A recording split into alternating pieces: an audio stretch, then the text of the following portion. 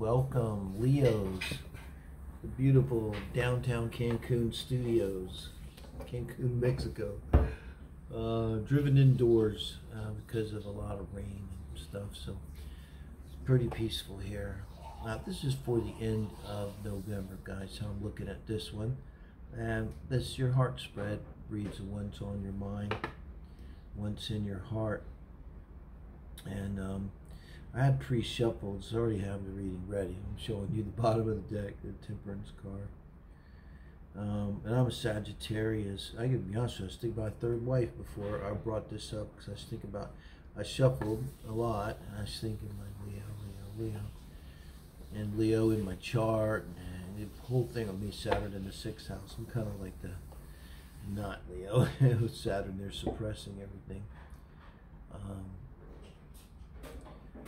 but I got the feeling of a lot of uh, sun energy, you know, and I, I you notice on this deck, what is this with the strength card? uh, it's a Gilded Tarot Royale deck, I'm probably thinking of it. Because uh, I know uh, always on Wednesdays, it's Leo and Virgo day. so I do this, and we do a singles read, do uh, meet the soulmate read if you're totally single. This will pick up who's on your mind. You don't have to necessarily even have to be with them also, and I'll put a link in the description here, uh, every day I do a daily collective read, the Soul Family read. So do check it out. Try to keep it short. I think it went 20 minutes today. But I did a heart spread for us uh, with our higher self. So in that reading, it's not so much relationship oriented, it's spirituality, manifestation, that kind of thing. Um, so here we're going to look at you and your person. Let's get to it. King of Cups, I like this for you. Leo, you might have Cancer in your chart. But this is you in and around relationship, where your mind is at, where your heart is at. Um, I'd say it speaks to someone that's mature. Um, as it takes some time to get to be a king here. And um, you're manifesting, uh, channeling in anyway, this uh, emotional part of yourself. Um, you may have gained over time emotional wisdom, emotion, what we call emotional intelligence emotional awareness. The King of Cups not afraid to be emotionally vulnerable.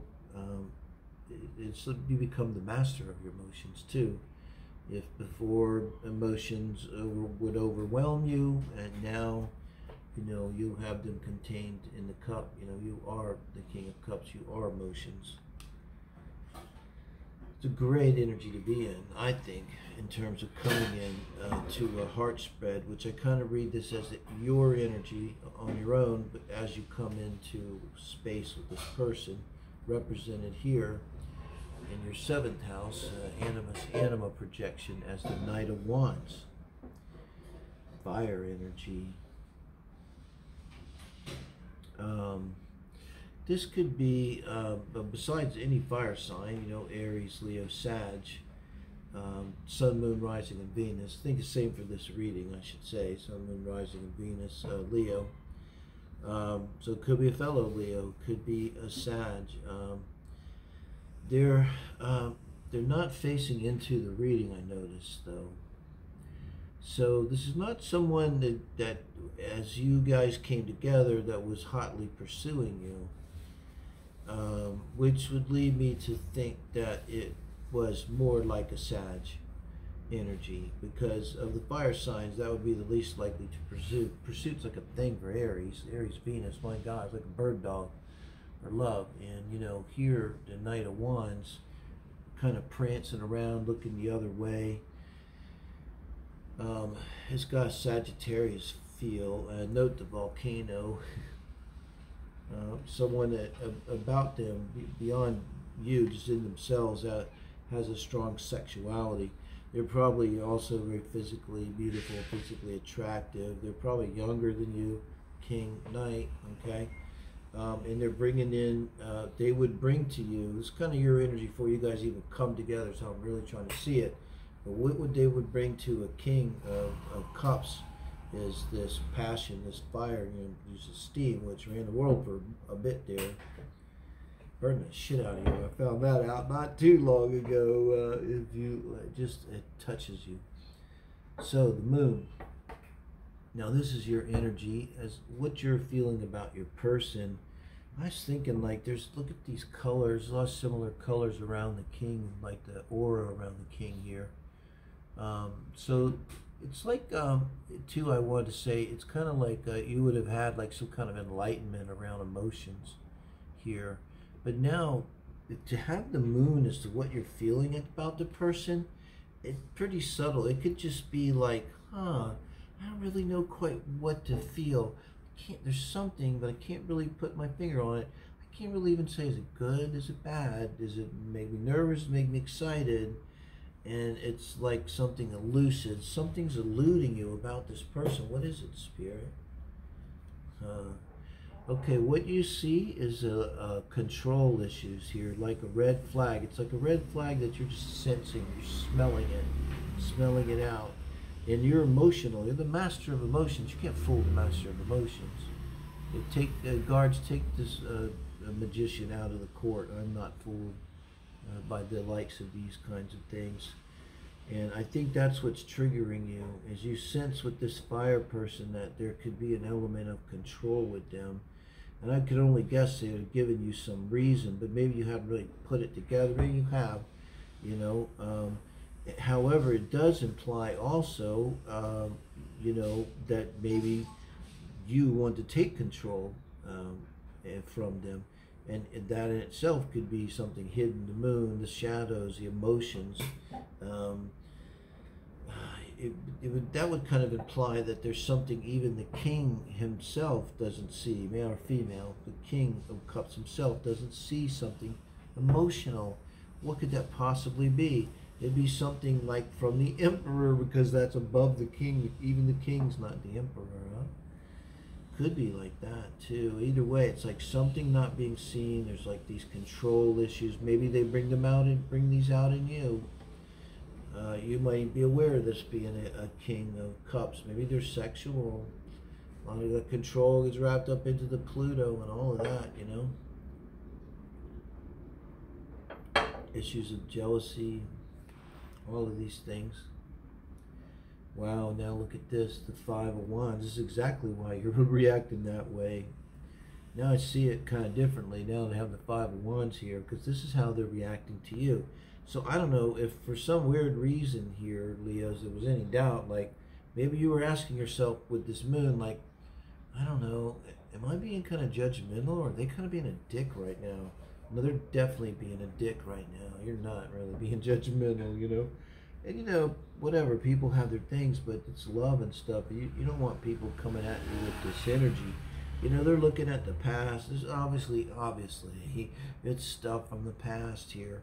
Right now, I don't even feel like a strong soulmate connection, I gotta tell you, or anything like that. A lot of times you get, oh, well, these contracts and there's stuff to be done. I don't know.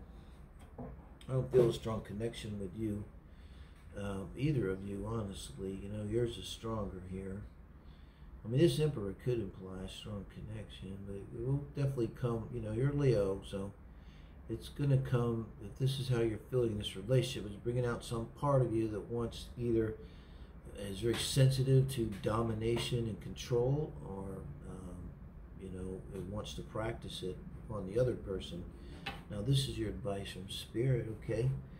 Um, towards this person, the best advice Spirit can give you in terms of relating to this person is the Queen of Pentacles. And when I see the Queen of Pentacles here, it's advising you to not only be the King of Cups, but to be solid, reminding you of your worth, because the Queen of Cups has, uh, uh, Pentacles has no doubt, and takes very good care of herself, her kingdom. Um, this is coming under the Emperor. It is coming under the Moon. That's clarified by the Emperor. So there's a lot of emphasis for you on really being solid, I would also say that this is not exactly the reading, but if, if you take the Emperor with the Queen of Pentacles, I think it's going to really serve you well to have very strong boundaries with this person and very little tolerance for this person, frankly. Um, that's what this is saying. Play your own game. Uh, abide by your own rules. Force them to abide by your rules. Um, you're coming in with the king and queen energy here. Look at that. He wants to meet you with the king of pentacles. It's, I mean, when I saw this, I'm like, well, fuck, game on. Because this is advice from spirit.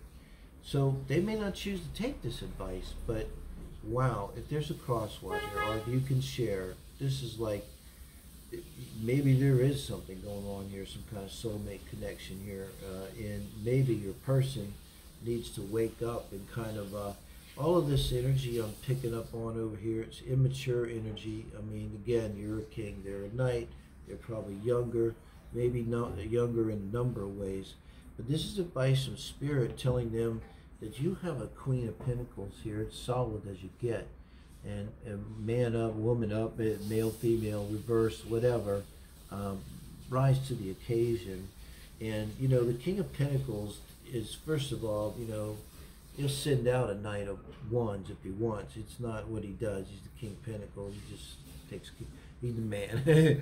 he's the man of the man. Nobody gets the king of pentacles, and he definitely don't have time for this kind of bullshit right here. It just, you know, king of pentacles like I ain't got time for that.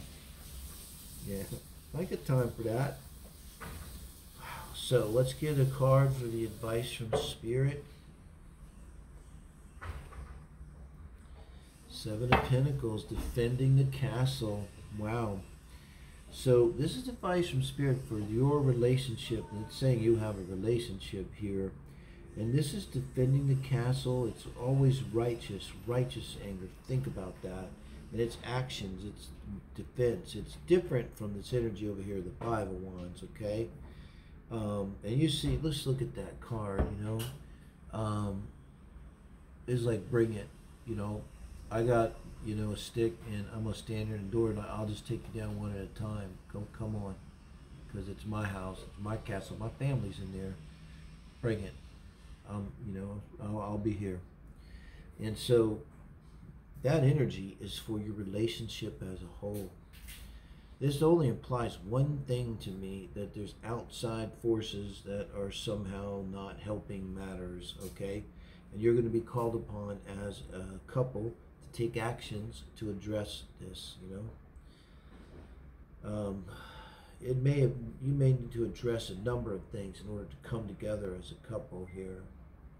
When you have King and Queen of Pentacles as your advice, now particularly, frankly, Leo, if you're a woman and this is a man we're talking about, ding, ding, ding. Two of Pentacles. Now it's not sexy, but also what is it it's one king and one queen equals two, and that's your outcome. That is really solid outcome too. Um, and it means this is the outcome of this relationship. I'd say with two of Pentacles is boyfriend girlfriend energy, but there's commitment. There's you know, you guys kind of being in some kind of balance in the near future with this relationship and with these Seven of Wands, it may be both of you kind of have to carve out a space in your life. You have to carve out something, meaning maybe carve out someone, and then they have to carve out someone in order to create this space in your life for you guys to come together. And it's not really about choices here because this is the outcome. This is about balance, and this is work, it's personal work. It's like you're going to have to work. Maybe you're going to work a few extra hours one day to have a little hourly off one day so that you can be with them and they need to do this and all of these things, right?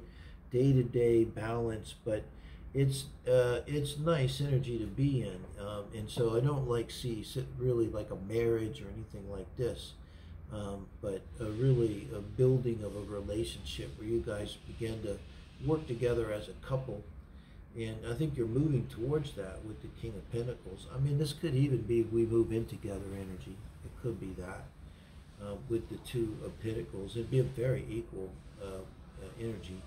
And it's going to require some effort, which is not unusual. Maybe somebody's sell a house. Maybe somebody's got to rent a house. Maybe somebody's got to move and clean and all these things that could come up. The children could be involved.